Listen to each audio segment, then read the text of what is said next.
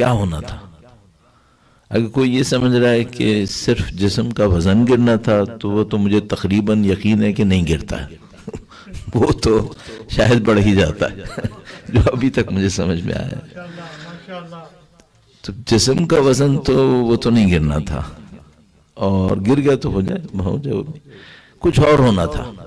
वो जो होना था, वो हुआ है या नहीं हुआ और खुदा न करे, नाउज बिल्लाह ताला, अगर वो उतना नहीं हुआ जितना होना था, अब बाकी दिनों में क्या गारंटी है कि खुद से हो जाएगा?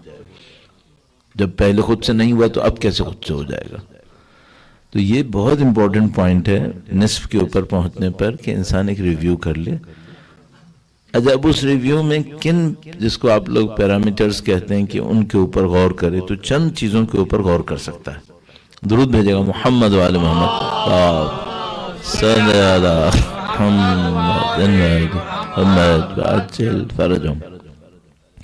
पहली बात तो ये कि खुदा के निज़ाम में, उसके दीन में जितनी भी चीज़ें वाजिबात हैं, हत्ता मुस्तहबात हत्ता हत्ता मुबाह, लेकिन वाजिब तो ख़ास कर वो खुदा के पूरे जो हदफ है ओवरऑल जो ऑब्जेक्टिव है, उस तरफ़ ही बढ़ाने के लिए कोई चीज़ बिखरी भी नहीं है यहाँ पे।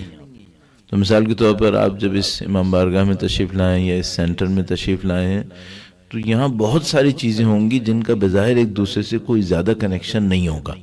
लेकिन ऑब्जेक्टिव में सब कनेक्टेड होंगे।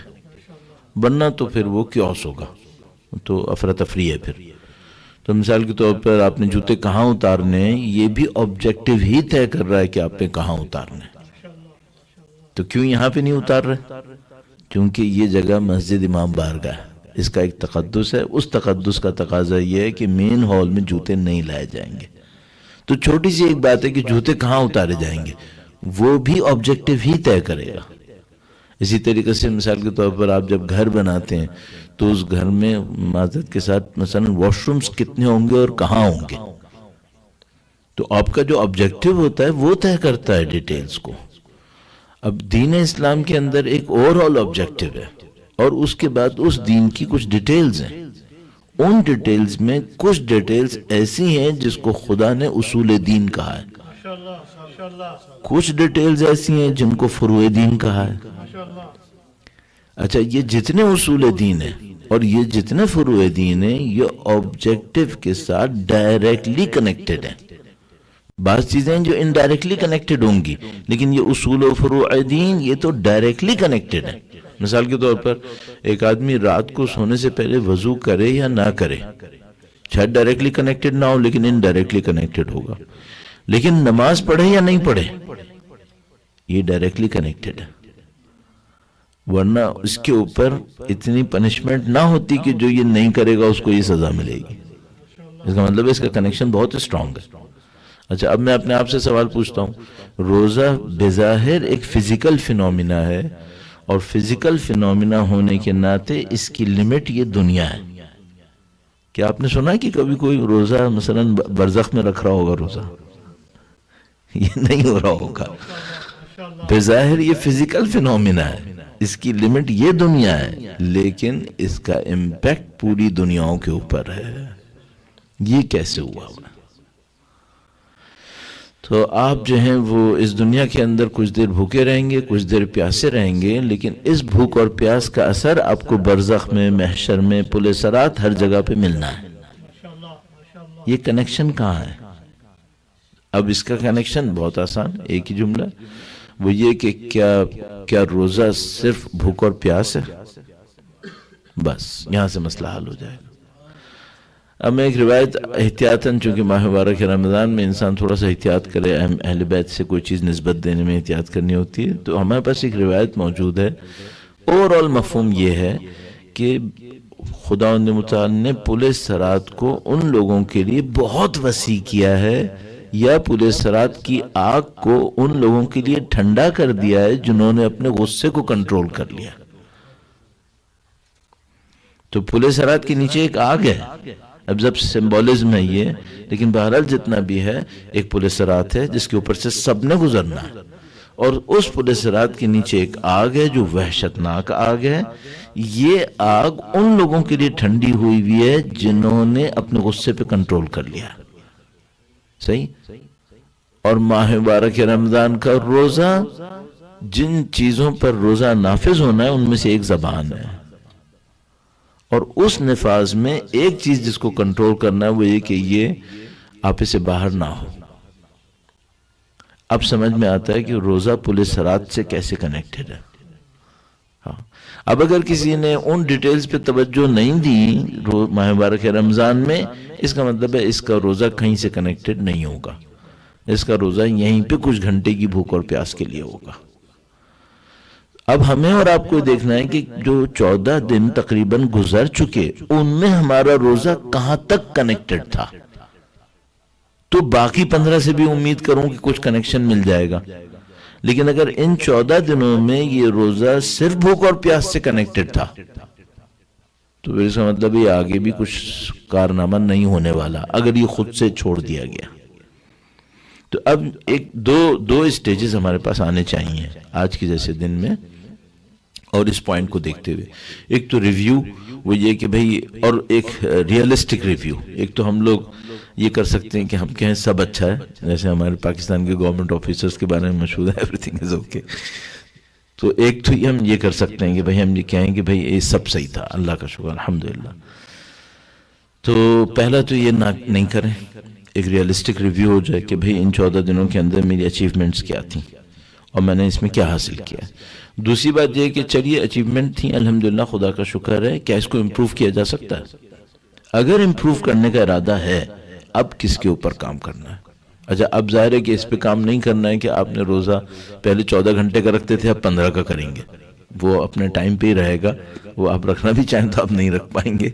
आप शहरी को भी आगे पीछे नहीं कर सकेंगे और इफ्तार को भी नहीं कर पाएँगे।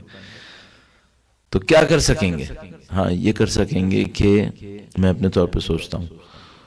बुनियादी तौर पे कोई बहुत बड़ा गुनाह भी माह मुबारक रमज़ान में शायद नहीं कर रहा हूँ शायद नहीं कर रहा हूँ इसका मतलब क्या है? इंप्रूवमेंट कहाँ लानी है?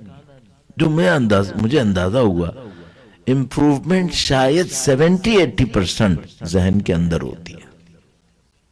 बाहर नज़र नहीं आती, जहन के अंदर होती है। तो मिसाल के तौर पर बहुत बड़ी खासियत वाले फलिया तवक्ल मुतवक्लून बस खुदा पर तवक्ल करने वालों को तवक्ल करना चाहिए। ये तवक्ल जिस्म के किस उज्व से होता? है जिस्म से नहीं होता, ये फ़िक्र से होता। है सब्र करने वालों को सब्र कर लेना चाहिए। ये सब्र कैसे होता? है ये सब्र हाथ पाँव से नहीं होता, ज़्यादातर सब्र दिमाग से ही होता। है तो मुझे समझ में आया कि हम लोग चूँकि पुराने दीनदार लोग हैं, इसमें बहुत ज़्यादा घाघ लोग हैं तो अब हमारी जो इम्प्रूवमेंट है, वो बेजाहिर जिसमानी इम्प्रूवमेंट नहीं आएगी। अब जो हमारी इम्प्रूवमेंट आनी है, वो सिर्फ़ जहन के अंदर ही है। बदकिस्मती ये है कि ये इम्प्रूवमेंट दिखाई नहीं देती है। आप जिम जाएँ, कुछ दिन काम करें तो आपको स्केल के ऊपर कुछ ग्राम ऊपर नीचे होता नज़र आ जाएगा। लेकिन जहन के अंदर क्या गुजर रही है? ये नज़र नहीं आता। मसलन शुरू शुरू में कोई आदमी दीनदार होता है तो हम जैसे लोग उससे कहते हैं, भाई तुम म्यूज़िक छोड़ दो, दाढ़ी रख लो, पुराने जमाने की दीनदारी की तस्वर तो ये कर लो। तो वो फ़ौरन कुछ तब्दीलियाँ नज़र आती हैं। अच्छा एक आदमी दस साल से दीनदार है। अब ऐसी कोई फ़िज़िकल और जो ज़ाहिर में तब्दीली वो नज़र आनी? है नहीं। यही वो मुश्किल है जिसकी वजह से ज़्यादातर पुराने दीनदार लोग एक ही जगह खड़े हुए लेफ़्ट राइट करते रहते हैं। वो आगे नहीं बढ़ रहे होते। और क्यों आगे नहीं बढ़ रहे होते? चूँकि जो जाहरी तब्दीलियाँ आने का दौर था, वो गुजर चुका है। अब कोई जाहिरी तब्दीली नहीं आनी है। अब जो तब्दीली आनी थी, वो यहाँ पे आनी थी। उसके ऊपर मेहनत नहीं कर सके। अच्छा ये भी एक मुश्किल है कि ये भी नहीं समझ में आ रहा कि जो यहाँ पे तब्दीली आनी है, वो क्या है? मुश्किल यहाँ पर है, ये भी नहीं पता। है तो हमें कुछ और अच्छी अवसाफ पता है तवक्ल होना चाहिए, सब्र होना चाहिए, इस्तकामत होनी चाहिए इंसान के अंदर, अल्लाह की तरफ़ तवज्जो होनी चाहिए अवसाफ कुछ पता है हमें। लेकिन ये समझना भी मुश्किल पड़ रहा है कि ये अवसाफ जब हासिल होंगी तो ये किस रास्ते पे चल के हासिल होंगी। और मैं इसमें जो मुझे खदशा है वो ये कि हम में से बहुत सारे लोगों के जहन में ये है कि शायद ये खुद ब खुद होता रहेगा। नहीं खुद ब खुद नहीं होने वाला है। कुछ कामों के नतीजे में खुद ब खुद हम उस तरफ़ बढ़ तो सकते हैं, लेकिन मेहनत फिर भी करनी पड़ती है। बसरन कोई शख्स अव्वल वक्त नमाज़ पढ़ता रहे, उसके लिए, उस समत बढ़ने के लिए रास्ता आसान हो जाएगा। लेकिन उसने खुद बढ़ना है या खुद ब खुद बढ़ेगा? हाँ कुछ ना कुछ तो करना पड़ेगा। रास्ता तो आसान हो जाएगा। लेकिन करना तो खुद ही पड़ेगा। हाँ। अब ये वो जगह है जहाँ पे हम लोग ज़्यादातर स्टक होते हैं। कि भाई ये खुद ब खुद हो जाए, या मैंने करना है, खुद ब खुद मैंने अर्ज़ किया, रास्ता आसान होता है, और अव्वल वक्त नमाज़ पढ़ने से बहुत सारी चीज़ें नसीब हो सकती हैं, लेकिन फिर भी कुछ करना है, फिर भी कुछ करना अच्छा वो क्या करना है? चंद मिनट्स में, जो मुझे समझ में आता है, मैं अर्ज़ करने की कोशिश करता हूँ। दुरुद भेजेगा मोहम्मद वाल मोहम्मद।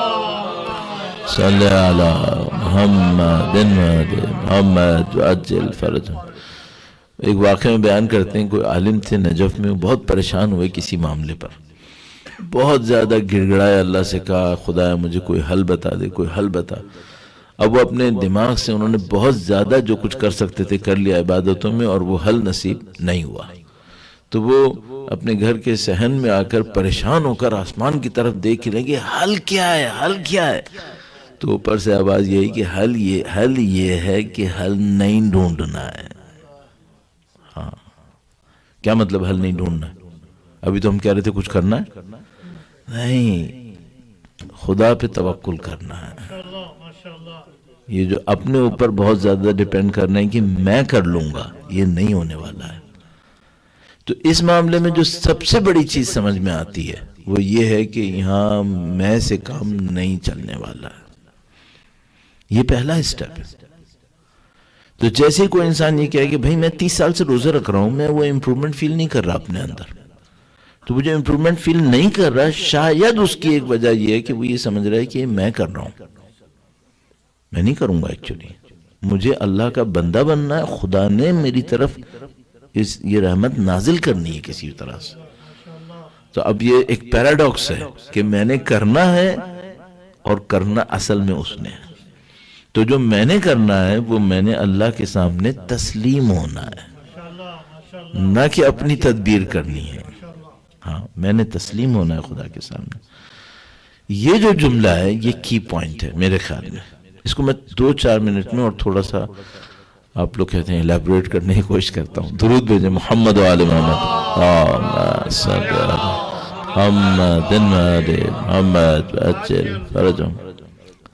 तस्लीम क्या है?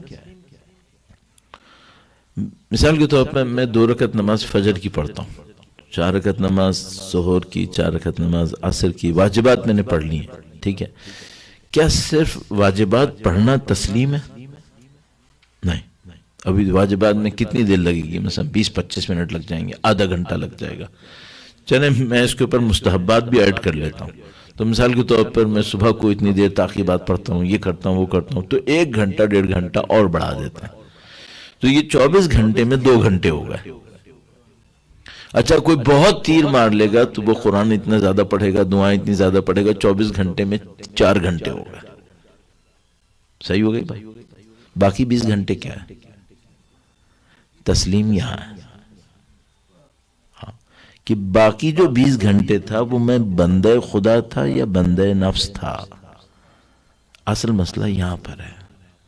हती मिसाल के तौर पर मैं अपने तौर पे सोचता हूँ, अपनी मिसाल दे देता यहाँ बैठ कर मेंबर पे मैंने कोशिश की है कि मैंने एक दर्स कहना है। ये जो दर्स कह रहा हूँ, ये तस्लीम है या मेरी मर्ज़ी है? यानी मैं इसको खुदा की पसंद के मुताबिक करना चाहता हूँ या अपनी पसंद के मुताबिक करना चाहता हूँ? तो हती वो काम जिसको मैं ही समझ रहा हूँ कि इंतहाई दीनदारी का काम है। इसमें भी मुश्किल है कि तस्लीम आई है या नहीं आई है। प्रॉब्लम यहाँ है। तो मिसाल के तौर पर मैं दस दीनदारी के काम करूँगा, लेकिन उनमें तस्लीम होगा या नहीं होगा? ये कैफियत, ये ये मेन की पॉइंट है। यहाँ से चीज़ों ने टर्न होना एक्चुअली और जो मैंने आपकी खिदमत में अर्ज़ किया, मैं ज़ाहिर उन लोगों के बारे में तस्करा नहीं करूँगा जो नए नए दीनदार हुए। आप लोगों की शक्लों को मैं देखते हुए सालों हो गए, आपको मेरी शक्ल देखते हुए सालों हो गए। तो हम लोग नए दीनदारों की बात ना करें अभी इस वक्त। उनकी बात करें जो पुराने दीनदार हैं। उनमें जो प्रॉब्लम है, वो पहली प्रॉब्लम जो मुझे समझ में आती है, वो सिस्टम को ना पहचानना है। वो ये समझ रहे होते हैं कि सब कुछ ऑटोमेटिकली खुद ब खुद होता चला जाएगा। जबकि ये होता नहीं चला जाएगा, इसके लिए हमें एफर्ट्स करनी होंगी। फिर जब एफर्ट्स करने पे आते हैं तो समझते हैं, मैं एक्सेस हूँ। नहीं, मैं एक्सेस नहीं हूँ, खुदा एक्सेस है। मैंने उस एक्सेस के ऊपर अपने आप को सरेंडर करना होता है। और ये जो सरेंडर करना होता है, ये सिर्फ़ इबादतों के दौरान नहीं करना होता। इस खातिर बाज औकात तीन घंटे, चार घंटे की मेरी इबादतें एक घंटे के लग्व काम से जाया हो सकती हैं। क्योंकि मैंने वो एक घंटा ऐसा गुजारा है जिसको खुदा पसंद नहीं कर रहा था। ठीक है? सही, मैं नहीं कह रहा गुनाह कर रहा था मैं। गुनाह नहीं कर रहा था। लेकिन मैं उस वक्त तस्लीम में नहीं था। प्रॉब्लम यह है। तो अब क्या करना होगा? अब अब मुझे ये करना होगा कि मैं अपनी ज़िंदगी को अब ये जो बाकी चौदह पंद्रह दिन है, इसमें यह देखने की कोशिश करूँ कि मैं किस हद तक ये कर सकता हूँ कि मेरा टाइम तस्लीम की हालत में गुजर रहा हूँ। खुदा के हुक्म के मुताबिक गुजर रहा हूँ। थोड़ा थियोरेटिकल हो गया माजा चाहता हूँ इसको हम लेकर आते हैं, इससे गुजर कर एक प्रैक्टिकल पॉइंट तक लेकर आते हैं, फिर उसके बाद अपने टॉपिक को थोड़ा सा डिस्कस कर लेते हैं, जिसको हम बाकी दिनों में जारी रखेंगे इन एक बार फिर दूध भेजेगा मोहम्मद वाले मोहम्मद सल मोहम्मद मोहम्मद इन चौदह दिनों तक आते आते आपके तकरीबन सारे माह मुबारक रमज़ान से रिलेटेड शेड्यूल सेट हो चुके होंगे। तो मिसाल के तौर पर क्या सेट हो चुका होगा? ये बन चुका होगा कि शहर के वक्त में आपने कितनी दुआएँ पढ़नी है और कौन कौन सी पढ़नी है? ये बन चुका होगा। ये बन चुका होगा कि आपने कुरान करीम कितनी देर पढ़ना है और कब पढ़ना है। पहले दूसरे दिन की कहानी होती है ना, इंसान को समझ में नहीं आ रहा होता कब सोना है, कब जागना है। तो ये चौदह दिन तक आते आते अब ये सब कुछ हो चुका होगा। सही। फिर आपको ये भी समझ में आ चुका होगा कि इस चौदह दिनों से मेरी जात के ऊपर स्पिरिचुअली जो फ़ायदा हुआ है वो कितना हुआ है। हो चुका? अब इम्प्रूवमेंट की बात आई थी। तो हमने कहा कि भाई आपको तस्लीम होना है। तस्लीम होने के बाद प्रैक्टिकली क्या करना है? मैं आपसे ये नहीं कहूँगा कि अब आप बाकी चौदह दिनों के अंदर शहरी में अगर पाँच मिनट दुआ पढ़ते थे तो अब आप पंद्रह मिनट पढ़ें। इसका फ़ायदा नहीं होगा। मैं कहूँ भी तो आप शायद कर भी नहीं पाएँगे, क्योंकि जो आप कर सकते थे, वो आप कर चुके होंगे। शब कदर का मामला कुछ और है, वो तो अभी हम, जो कुछ होगा। जो मैं अर्ज़ करूँगा, वो ये था कि आप जिस क्वालिटी के साथ कर रहे थे, इसको इंप्रूव कर लें। टाइम उससे ज़्यादा मत दें। जो आप दे चुके हैं और जो दे रहे हैं, उतना ही देंगे। लेकिन जो क्वालिटी थी, उसके ऊपर थोड़ी सी मेहनत कर लें इसमें क्या इंप्रूवमेंट हो सकती है? तो मिसाल के तौर पर जैसे मैंने अर्ज़ किया, ज़्यादातर अमाल यहाँ पे हो रहे होंगे। ज़्यादातर अमाल। तो ये देखा जा सकता है कि मैं अपने नफसानी कैफियतों के ऊपर क्या इंप्रूवमेंट ला सकता हूँ। छोटा सा एक पॉइंट हम बहुत ज़्यादा अर्ज़ करते हैं कभी कभी अपने लिए, और वो आपके सामने दोहरा देते हैं। वो ये कि हम लोगों के अज़ा जवारे और ख्यालात, ठीक है, उस स्टोरेज से निकल रहे हैं जो हमारी स्पिरिचुअल लाइफ में हमारे अंदर रखा हुआ है। सही है? तो अगर मिसाल के तौर पर मेरे अंदर, मैं मैं पॉजिटिव से शुरू करता हूँ। मतलब मैं अपने अंदर एहसास कर रहा हूँ कि मैं खुदा की तरफ़ तवक्कुल में बढ़ रहा हूँ। ठीक है? इसका मतलब है कि जो मेरा स्टोरेज है, वो कोई इतना अच्छा है कि मुझे खुदा की समत लेके जा रहा है। ठीक है? लेकिन अगर खुदा ना करे नाउजुबिल्ला ताला, मैं ये देख रहा हूँ कि मेरे अंदर कोई बोझ, कोई हसद का मादा कम नहीं हो रहा है। ठीक है? इसका मतलब ये है कि जो मेरा स्टोरेज है, वो कोई ऐसा है कि मुझे ना आगे बढ़ने दे रहा है, ना पीछे बेक रहा है। और अगर खुदा न करे, मैं देख रहा हूँ कि नहीं, कोई एक मुसीबत ऐसी लगी हुई है जो मुसलसल मुझे पीछे घसीट रही है। इसका मतलब है मेरे स्टोरेज के अंदर कोई ऐसा गार्बेज फंसा हुआ है जो मुसलसल पीछे घसीटे जा रहा है। सही? तो ये जो हमारी नफसानी कैफियत है, माह मुबारक रमज़ान के अंदर। चौदह दिन के बाद इंप्रूवमेंट आई, नहीं आई आई तो उतनी नहीं आई जितना मैं चाहता था। ये सब रिफ्लेक्ट कर रहा है कि मेरे अंदर कोई प्रॉब्लम कहीं पे छुपी हुई है। तो आप क्या कर सकते हैं? हम ये कर सकते हैं कि अपने इस अंदर के ऊपर थोड़ा सा रिफ्लेक्शन और बढ़ा दें। इसको कैसे सही करना है? तो हमारे पास जो बहुत मशहूर रास्ता है, सबको पता है, अहल बैत का मुसलसल इसरार होता है, वो ये कि जैसी माह रजब आता है जैसी माह शाबान आता है, उनका इसरार होता है कि इस्तफार बढ़ा दो।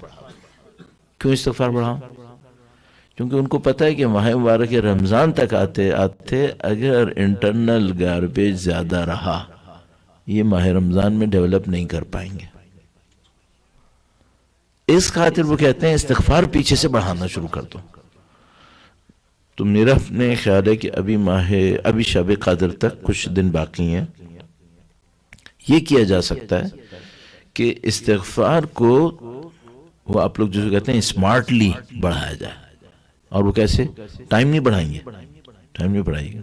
अगर आप सत्तर मरतबा इस्तफार करें तो सत्तर मरतबा ही करें, लेकिन स्मार्टली करें। वो कैसे?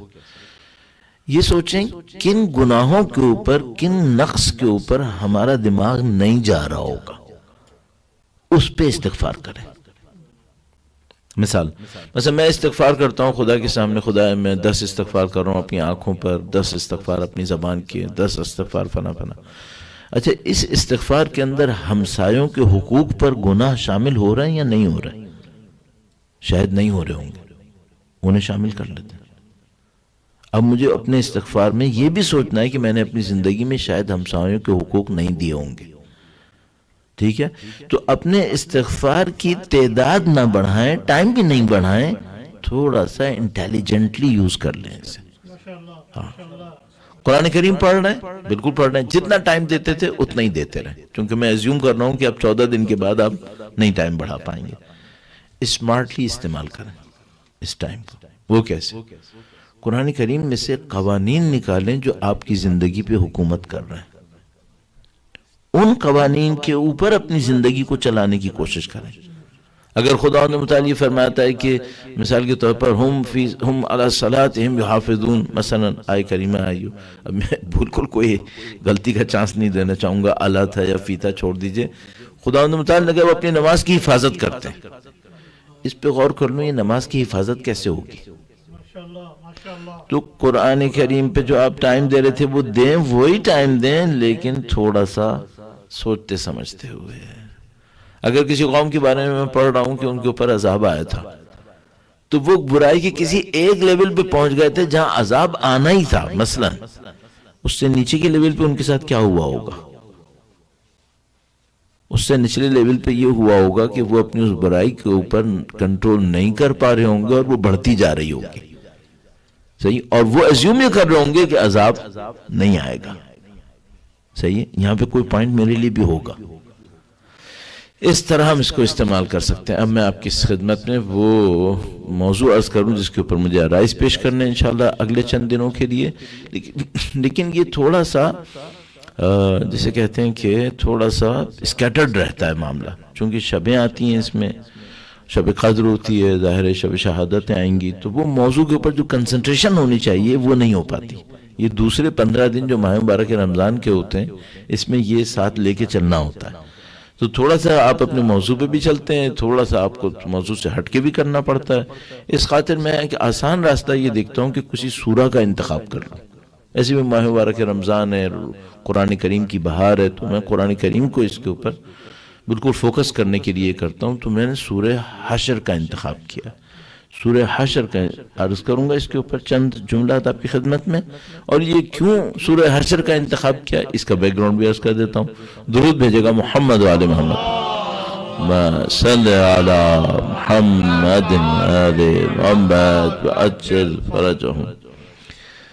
सूर्य हशर इब्तदा में सब माफिस समावत माफिल अर्ज़ से शुरू हो रही है ये जो सूरा है जिनके शुरू में या सब्बहा, या युसब्बिहो, या सब्बह, ये तीन अल्फाज इस्तेमाल हुए हों, सब्बहा, या युसब्बिहो, या सब्बह, ये छह सूरा है हमारे पास। इनको मुसब्बहात कहते हैं सूर्य मुसब्बहात। ये जो मुसब्बहात हैं, इनके बारे में और इनके इस कॉम्बिनेशन के अंदर बहुत सारे राज बयान किए जाते हैं। तो मिसाल के तौर पे जो छह सूरा हैं इन सूरा को अगर कोई मिसाल के तौर पर रात को सोने से पहले पढ़े तो एक चीज़ जिसके बारे में काफ़ी लोगों का इसरार है, वो ये कि ये शख्स, आप आप कहते हैं इन्वर्टेड कॉमर्स के अंदर, ये शख्स औलिया इलाही में शामिल हो जाएगा। नहीं मालूम इसमें क्या राज है।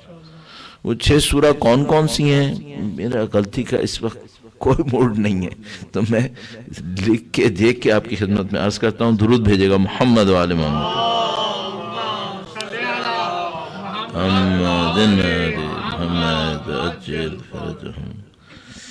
तो मैं आज ही देख रहा था कि इसमें, इसमें रिवायत में लिखा है कि अल्लाह के नबी ने इरशाद फरमाया कि खुद नबी खुदा रात को इस्तराहत से पहले ये छः सूरा पढ़ा करते थे अच्छा और इस छः सूरा को आपकी खिदमत में आज करना चाह रहा हूँ पहली सूरह हदीद दूसरी सूरह हाशर, तीसरी सूरह साफ़, चौथी सूरह जुमा और पांचवी तगाबुन और छठी सूरह आला। ठीक है? अब ये रिकॉर्ड चूँकि हो गया है, वैसे भी आप सबको मालूम ही होगा कहीं ना कहीं, लेकिन बहरहाल, पहली सूरह हदीद है। अच्छा मैं तरतीब क्यों आपकी खिदमत में अर्ज़ कर रहा हूँ? इस तरतीब में एक अजीब पॉइंट है। पहली हदीद है, दूसरी हशर है। इनमें और तीसरी सूरह सफ़ और चौथी जुमा यहाँ शुरू होता है माजी के सीगे से। यानी चंद सूरह ऐसी हैं जिसमें सब्बहा आया है। तस्बी करते करते हैं। तस्बी की, फिर बाद में युसब हो आया। तस्बी करते रहें, करते हैं या करते रहेंगे। और आखिर में अम्र आया है। यानी सूर्य आला तक जब बात पहुँची तो सब हिस्म रब लाला, तुम अल्लाह की तस्बी करो। तो माजी से शुरू हुआ था, फिर मुस्तबिल पे आया, फिर अमर के ऊपर बात आई। तो इस तरतीब में भी बहरहाल कोई ना कोई राज होगा। तो जो लोग छह सूरा पढ़ना चाहते हैं, उनको चाहिए कि इस तरतीब का ख्याल करें, इस तरतीब से पढ़ें। अच्छा आप फ़र्ज़ कर लें, मैं छह सूरा रात को सोने से नहीं, पहले नहीं पढ़ सकता। छह में से कौन सी पढ़ूं? फिर सूर्य हाशर पढ़ें फिर सूर्य हाशर पढ़ें तो ये मुसबहात का एक सेट है छह सूरा का। इनको पढ़ने के बड़े फजाइल हैं और उसके पता नहीं क्या क्या असरात हैं। लेकिन अगर कोई ये छह सूरा नहीं पढ़ सकता है तो कम से कम सूर्य हाशर पढ़ ले। अब इस सूर्य हशर की अपनी फजीलतें इसके अपने असरात हैं इंसान के वजूद के ऊपर। मैं फ़िलहाल उसके ऊपर ज़्यादा अर्ज़ ना करूँ और कंटेंट्स के ऊपर आ जाऊँ कि क्या होने वाला है। लेकिन बहरहाल कुछ ना कुछ ये समझ सकते हैं हम कि जो सूर्य हशर को हर रात पढ़ता रहे, लगता यूँ है जैसे खुदाई औसाफ उसके अंदर कहीं ना कहीं आहिस्ता आहिस्ता रिफ्लेक्ट होंगी। यूँ लगता है। अच्छा ख़ास कर एक बात है, वो ये कि सूर्य हशर की आखिरी आयतों के अंदर खुदा की सिफात, गोया जैसे हम लोग उर्फ़ आम में कहते हैं, भर के बयान हुई हैं हाँ। और उसमें आलिमगैब व शहादा से शुरू हुआ है और आखिर तक आते आते खुदा की सिफात। तो इन तीन आयतों के बारे में मशहूर है। एक रिवायत में बयान हुआ है थोड़ा एहतियात करूँ। एक रिवायत में बयान हुआ है कि इन तीन आयतों को पढ़ते वक्त कोई सर पे हाथ रख ले तो वो खुदा की इस अमान को हासिल कर सकेगा। इसके क्या राज होंगे? लेकिन बहरहाल इस सूर्य हाशर के अंदर कुछ है। हती एक आयत, एक रिवायत इस तरह की भी मौजूद है कि खुदा ने अपनी औसाफ का ऐसा बयान कि जो बाद में आने वाले लोगों को समझ में आना था, वो इस सूरा में रखा है। या नहीं मालूम इसमें क्या राज है। तो ये सूरा बहुत, इस मामले में अहम सूरत समझी जाती है। और ये जो रिवायात मैंने आपकी खिदमत में अर्ज़ की और जानबूझकर मैं इसके अल्फाज को नहीं दोहराना चाह रहा हूँ। ज़ाहिर है एहतियात की वजह से कि अहल बैत से नस्बत देने में आपको माह मुबारक रमज़ान में काफ़ी एहतियात करनी पड़ती है। तो मैं ओवरऑल ओवरऑल इसीलिए कह रहा हूँ आपकी खिदमत में, ताकि उस एहतियात से हम खारिज ना हों। सूरह हशर मदनी सूरा है, यानी मदीना में नाजिल हुई है। मदीना में नाजिल होने वाली सूरा का ताल्लुक ज़िंदगी के मसाइल से ज़्यादा होता है। और जो मक्का में नाजिल होने वाली होती हैं, उनका ताल्लुक ज़्यादातर अकायद से और बुनियादी तरीन अकायद से होता है। जो मक्का में सूरह नाजिल होती थी, मामूलन उनकी आयतें छोटी होती थी, बहुत छोटी छोटी आयतें होती थी। मदीने में नाजिल होने वाली सूरों में आयतें थोड़ी लंबी होना शुरू हो जाती हैं। तो शायद इस वजह से कि लोगों को कुरान करीम की ज़्यादा आदत हो चुकी थी, उस वक्त तक आते आते बहरहाल ये जो सूरा है, ये मदनी है। और इसका मौजू और इसके जो कॉन्टेंट्स हैं वो बिल्कुल साफ़ इसके ऊपर दलील है कि ये मदनी सूरा है। फिफ्टी नाइन्थ सूरा है उनसठवीं सूरा। अब उर्दू का मैार हमारे यहाँ ऐसा आ गया कि खुद मुझे उनसठ उनहत्तर उन्नासी में ख़तरा होने लगता है कि भाई कौन सा वाला क्या था। तो अब इसलिए मैं पाकिस्तान से बाहर उनसठ कहता ही नहीं हूँ फिफ्टी नाइन कह देता हूँ सीधा। तो ये बहरहाल फिफ्टी नाइन्थ उनसठवीं सूरा है। इसमें चौबीस आयात करीमा है। चौबीस आयात करीमा आपको पता है कि बिस्मिल्लाह पहली आयत शुमार नहीं की गई है। तमाम सूरों के अंदर सिवाय हमद के, सिवाय हमद के किसी भी सूरा के अंदर बिस्मिल्लाह जुज आयात शुमार नहीं होती है। तो उससे हटाकर इसमें चौबीस आयात करीमा है। और इसका जो नाम है, उसके ऊपर भी अर्ज़ करता हूँ, दुरूद भेजेगा मोहम्मद मोहम्मद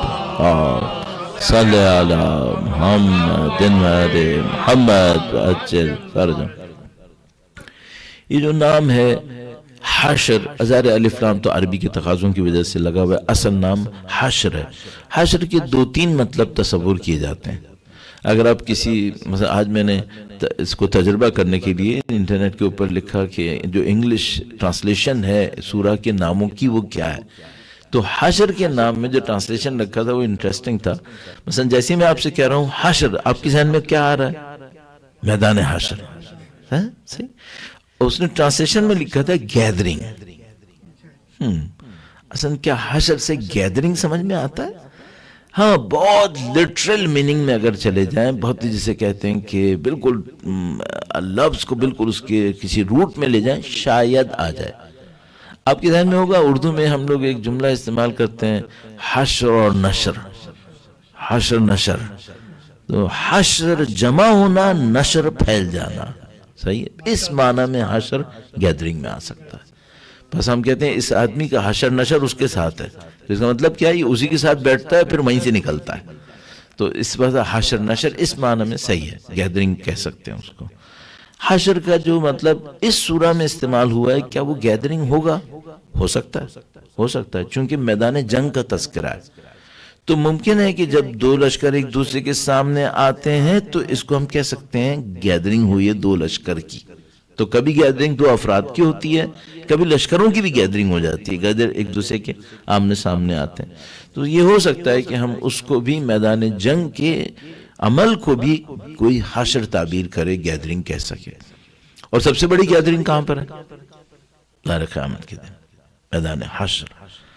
तो समझ में आता है कि हाँ एक हशर का मतलब होता है गैदरिंग ओवरऑल जमा होना जिसके मुकाबले में क्या आ रहा है? नशर। फिर एक मैदान जंग भी हशर है। क्यों? क्योंकि वहाँ पे भी दो आ, मैदान के अंदर लश्करों की गैदरिंग हो जाती है। और मैदान हशर तो है ही हशर। वो क्यों हशर है? क्योंकि वहाँ सबकी गैदरिंग हो जाती है। सही? तो फिर ये समझ में आता है कि हाँ हशर का मतलब ये होगा और ये एक्सपेंशन है। उसके मफाहिम का और ज़ाहिर ऐसे दस्तियों मफहूम हशर के और भी निकल आएँगे। तो ये सूर्य हशर है। दुरूद भेजेगा मोहम्मद वाल मोहम्मद।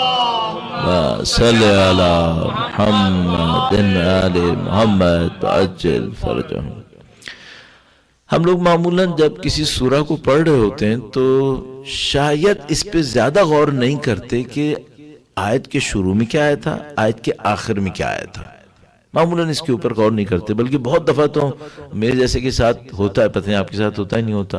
कि मसलन किसी एक सूरह के एंड में आया था, वो हवल अजीज़ुल हकीम, और मैंने ऐसे ही कहीं बोल दिया, वो हवल अलीमुन नसीर। मुझे ज़्यादा फ़र्क नहीं पड़ रहा। नाउजुबिल्लाह ताला। लेकिन कुरान करीम को फ़र्क पड़ रहा होगा नहीं पड़ रहा होगा? या बहुत फ़र्क पड़ रहा होगा? इसका मतलब क्या है? इसका मतलब ये कि ये जो सूरा के स्टार्ट में कोई चीज़ आती है आयत के एंड में कोई चीज़ आती है इसका कोई ना कोई ताल्लुक कंटेंट से होता है। कहीं ना कहीं होता है। अल्लाह तबाई ने इसमें बहुत खूबसूरत एक बयान दिया है। उन्होंने कहा कि सूरा का स्टार्ट और सूरा का एंड सूरा के कंटेंट्स का एक रिफ्लेक्शन दे रहा होता है। तो सूरह का जो स्टार्टिंग होगा, वो आपको उस कंटेंट के लिए तैयार कर रहा होगा जो सूरह के अंदर मौजूद है। और जो सूरह का एंड होगा, वो उस कंटेंट की समरी आपको दे रहा होगा जो उस सूरह के अंदर मौजूद होगी। सही है? और उसके बाद उन्होंने एक और बात भी कही, वो ये कि ये जो सिफतें बयान होती हैं, ये एक और मतलब भी है। ये थोड़ा सा और टच कर रहा है इसकी कंटेंट्स को। दुरुद भेजेगा मोहम्मद वाले मोहम्मद। आला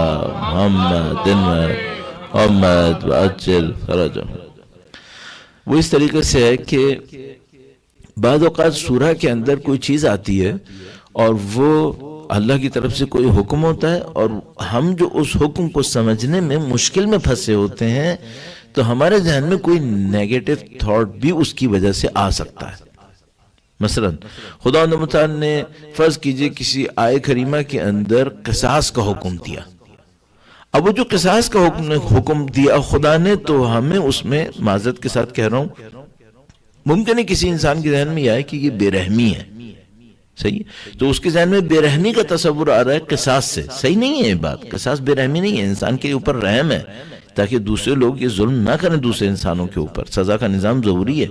लेकिन मुमकिन है किसी के जहन में ये आ रहा हो कि ये बेरहमी है। तो इसका मतलब क्या है? इसका मतलब है इस सूरा के शुरू में या एंड में इस मिसकॉन्सेप्शन को दूर करने के लिए कोई आयत होगी। सही है? बस पॉइंट ये है कि आप कुरान करीम की किसी सूरा को पढ़ते हैं, उसमें कोई हुक्म आता है, उस हुक्म की वजह से मेरे और आपके जहन में कोई मिसकॉन्सेप्शन आ सकता है। उस मिसकॉन्सेप्शन को दूर करने के लिए उस सूरा के शुरू में या एंड में कोई ना कोई आयत मौजूद होगी। सही? इस आय करीमा ने, इस सूर मुबारक ने शुरू किया है सब समावाती माफिल जो कुछ ज़मीन में है, जो कुछ आसमान में है, वो खुदा की तस्बीह में मशगूल है। सही? अब हमारे पास कितनी कितनी देर है? इफ्तार का टाइम क्या है? 51 तो हमारे पास मेरे ख्याल में अभी 10 मिनट है। तो मैं इस 10 मिनट में अब इस मतलब के ऊपर आने की कोशिश करता हूँ, जो मेरे लिए बहुत इंपॉर्टेंट है, और मैं इसको ज़ाय नहीं करवाना चाह रहा लेकिन मैं चाहता हूँ कि इसको कम से कम टच ज़रूर कर लिए ये सबहा क्या होता है? तस्बीह क्या होती है? और ये बहुत इंपॉर्टेंट है, ठीक है? तो मैं आपको आखिर में लाकर एक इंपॉर्टेंट टॉपिक की तरफ़ भेजना चाहता हूँ, लेकिन मुझे ये अंदाज़ा है कि लोगों को रोज़ा रखे हुए कई घंटे हो चुके हैं। तो इनके जिस्मानी हालत इतनी कमज़ोर हो गई होगी कि अब जहन के ऊपर इतना बोझ डलवाना शायद कोई इतना अच्छा काम नहीं होगा। लेकिन मसला ये कि कल कल भी यही होना है, कल भी यही होना है। तब्दीली तो कोई भी नहीं आनी तो बेहतर है कि अभी कर लिया जाए फिर। ये तस्वीर बहुत अजीब लफ्ज है। तस्बीह का रूट अगर इसके मजदर में जाए हाँ ये भी मैं अर्ज़ करना भूल गया। एक सूरह में मजदर भी आया हुआ है सुबहान का। कहाँ पर? सुबहान अल्लदी असरा बेअब्दही लैलन मिनल मस्जिदिल हराम। सही? ये सुबहान सब्बहा यो सब हो सब हिस्म, ये कुरान करीम में बहुत है। सही? और हमारी नमाज़ में है या नहीं है? असल जितना पूछो है। सुबहान रब्बी अजीम सुबहान बेहमदही। यानी दो लफ्ज जो इस मामले में हमारी जिंदगियों से लगे हुए हैं, उनमें एक सुबहान है और दूसरा हमद। सही? सुबहान और हमद फ़र्क क्या है? और हम तस्वीर बीबी की जो पढ़ते हैं, उसमें थर्टी थ्री टाइम्स हमने हमद कहना है और फिर थर्टी थ्री टाइम्स हमने सुबहान भी कहना है। इन दोनों में फ़र्क क्या हुआ फिर? और वो फ़र्क इतना ज़्यादा है कि दो को अलहदा अलहदा थर्टी थ्री टाइम्स तो मैं अगर ऐसे मैं कह रहा हूँ, बचकाना सवाल कि भाई, अगर मैं सुबहान ही कहना था तो फिर हमद की जगह अलीम कह देता। ये हमद क्यों है इसके साथ? सही है? अब मैं सिर्फ़ सुबहान के ऊपर बात करता हूँ, कल इनशाला हमद को इसमें ऐड करने की कोशिश करेंगे। आय करीमा में हमद नहीं आया हुआ, इस आय करीमा में। सब माफिल समावाती व माफिल अर्ज़। तो हम नहीं है यहाँ पे। लेकिन हमें पता है कि सुबहान के साथ हम बहुत ज़्यादा आया हुआ है, ठीक है? सुबहान का मतलब क्या है? दुरुद भेजेगा मोहम्मद वाले मोहम्मद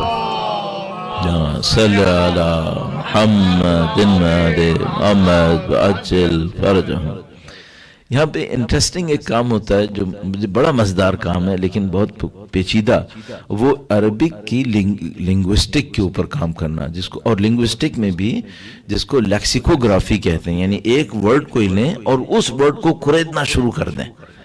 तो ये जो अरबिक लेक्सिकोग्राफी है ये बहुत वसी है बहुत वसी है। अब ये जो लफ्ज है आपके पास देखिए चार लफ्ज अपने जहन में रख लीजिए चारों के कुरानी रूट्स हैं। सुबहान सब्बहा युसब हो सब हिस्म रबिकल सब इन सब का रूट सीन बे और हा में है। ठीक है? ये तीन लफ्ज जो आ, आ, आ, क्या कहते हैं? तीन अल्फ़ाबेट जिसको आप कहेंगे हरूफ, ये तीन हरूफ इसमें कॉमन है, ठीक है? इसका जो रूट बन रहा है, वो एक वर्ड से निकल रहा है, उसको कहते हैं सबाहा, ठीक है? सीन बे है, इसमें एक लफ्ज बनता है, उसको कहते हैं सबाहा। और सबाहा को अगर इंग्लिश में ट्रांसलेट करते हैं तो इंटरेस्टिंगली उसको कहते हैं स्विमिंग सही है? अब क्या ताल्लुक बनेगा सबाहा और स्विमिंग का? सही है? तो ये जो स्विमिंग है, ये क्या है? सबाहा या स्विमिंग ये इसमें यहाँ पे क्यों इस्तेमाल हो रहा है? तो इसमें दो जगहें हैं। ये जो सबाहा का फिनोमिना है, यानी स्विमिंग का, इसमें दो चीज़ें हैं। एक बात तो ये कि एक आदमी साहिल से स्विमिंग करना शुरू करता है और वो तैरता हुआ आगे चला जाता है तो वो चलते चलते गायब हो जाता है। सही है? तो वो जब वो जो तैर रहा होता है तो जैसे ही वो तैरना शुरू करता है, उसका डिस्टेंस साहिल से बढ़ना शुरू हो जाता है। बढ़ते बढ़ते इतना हो जाता है, जैसे वो साहिल से डिस्कनेक्टेड हो जाता है और किसी और जगह के ऊपर तकरीबन गायब हो जाता है। एक सबाहा का मतलब ये है। अच्छा एक सबाहा का मतलब ये है कि वो तैर रहा है तो तैर रहा है का मतलब क्या है? वो पानी से लड़ रहा है क्या? नहीं, पानी से लड़ता नहीं है। वो पानी की जो क्वालिटीज हैं, उनको इस्तेमाल करते हुए अपने एक ऑब्जेक्टिव की तरफ़ बढ़ना शुरू कर देता है। सही है? पर सबाहा के अंदर दो मीनिंग्स हैं। एक तो ये कि वो बंदा पानी से लड़ता नहीं है, पानी की क्वालिटीज को इस्तेमाल करता है अपने ऑब्जेक्टिव के लिए और वो उस तरफ़ बढ़ता है। और दूसरी बात यह कि वो किनारे से अपने आप को डिस्कनेक्ट करता है और किसी और उफुक में अपने आप को गायब कर देता है। सही है? अगर कोई अल्लाह की तस्बीह करे तो ये दो चीज़ें होंगी। कि वो इस कायनात को जो सारी की सारी खुदा की मर्ज़ी पे चल रही है, पानी की तरह इस्तेमाल करके अपने आप को खुदा की तरफ़ ले जाएगा। तो पूरी कायनात उसका साथ देगी फिर। जैसे पानी उस स्विमिंग करने वाले का साथ देता है। और ये जो स्विमिंग करेगा, ये क्या करेगा? ये अपने आप को अपनी मटेरियल एग्जिस्टेंस से डिस्कनेक्ट करके इलाही एग्जिस्टेंस के अंदर गर्क कर लेगा। अल्लाह